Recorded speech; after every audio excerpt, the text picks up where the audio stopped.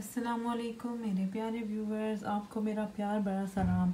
उम्मीद करती हूँ कि आप लोग खैरियत से होंगे, अपने घर में खुश होंगे, आबाद होंगे और आपकी दुआओं से मैं भी बिल्कुल ठीक हूँ। आज आपको मैं फ़िश के साथ दो किस्म की चटनियाँ बनाना सिखाऊँगी तो चलें स्टार्ट करते हैं। अच्छा यहाँ पे हम लोग दो चटनी इसके साथ प्रिपेयर कर लेंगे, ये बहुत डिलीशियस होती है और बाज़ार में ये बनाई जाती है चटनी तो चलें तैयार करते हैं। सबसे पहले हम लोग हाफ़ टी स्पून डाल लेंगे इस चटनी में, ठीक है, जो हम लोग इस बाउल में तैयार करेंगे और हाफ़ टी स्पून जो सॉल्ट है, नमक है, उसको हम इसमें ऐड कर देंगे।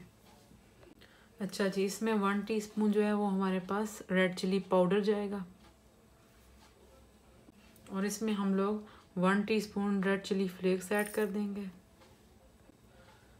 तो इसमें हम लोग वन फोर्थ टेबल स्पून जो अब इसमें हम लोग थोड़ा सा पानी ऐड करेंगे। तकरीबन ये मेरे पास थर्टी एम एल वाटर है, ठीक है? और इसमें हम लोग जो है वो one tablespoon water add करेंगे।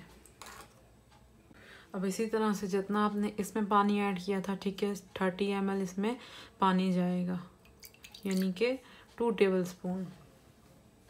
तो ये हमने इसमें टू टेबल स्पून सिरका ऐड कर दिया है। टू टेबल स्पून इसमें हमने सिरका ऐड किया है। तो इस चटनी में हम लोग योगर्ट ऐड कर देंगे, ठीक है?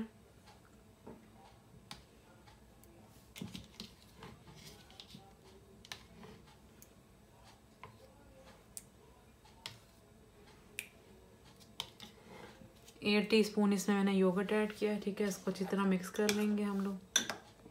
तो ये देखें, यहाँ पे ये जो रेड चटनी है, ये बिल्कुल अच्छी तरह से तैयार होगी, आप लोग देख सकते हैं, ठीक है?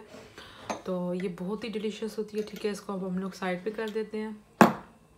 तो इसको जो हमने चीज़ें जो ऐड की थी, इसमें हम लोग रेड चिली फ्लेक्स सॉल्ट पानी और विनेगर इसको अच्छी तरह से हम लोग मिक्स कर देंगे। तो ये देखें, ये भी हमारे पास सिरके वाली जो चटनी मिलती है बाज़ार से मछली वालों के पास तो ये आपने घर पे तैयार कर ली है।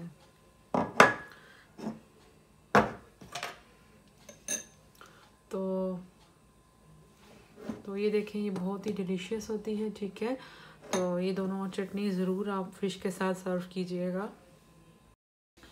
तो चलें, चलती हूँ। दुआ में याद रखिएगा, अपना बहुत ख्याल रखिएगा। मेरे चैनल को लाइक करना, सब्सक्राइब करना ना भूलिएगा। ओके, अल्लाह हाफिज़।